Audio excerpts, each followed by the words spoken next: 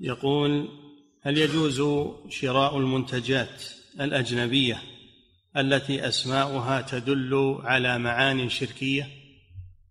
مش مثل. مش مثل.